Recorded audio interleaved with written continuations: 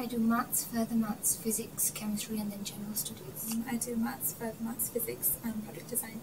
Well, last week we were given two papers on some research that was done on the birth prevalence of Down syndrome in babies in England and Wales.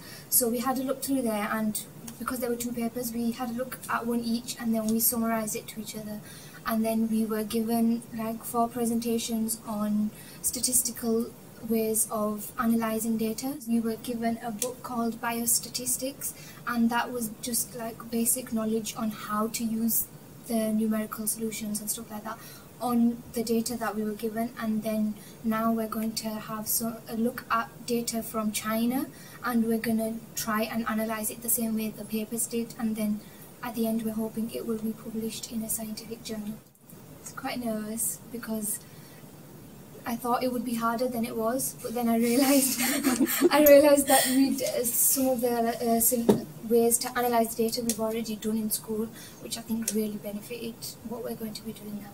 Like I haven't learned some of the stuff that she has because she's in a different module, but it was nice because she could like talk me through it as well and kind of like teach me as well. So it's kind of reassuring. I mean, I could have tried to get work experience anyway, but I'm glad it's related to something that I want to do because like I have an actual interest in it and I know that it'll benefit me like lots of ways as well. When you do a maths degree, you don't know there's not a certain job you get out of it. Yeah. And I wanted to see what kind of fields you could go to when doing maths. And for me, that this is why I chose to do it because it would show me what kind of options I have after I'm And done with opens up a few education. as well yeah. because I didn't know that there was stuff like this out there. Like Yeah. I didn't know you could do research about. yeah, this kind of stuff. Yeah, it's nice to see how maths is actually applied to the real world because I think in school you sort of get taught everything and then you sat there thinking, so what's this got to do with real life? But like here we're able to see how it's applied How to it's real life, actually applied to and it's like kind of motivating to Yeah. learn everything else. So.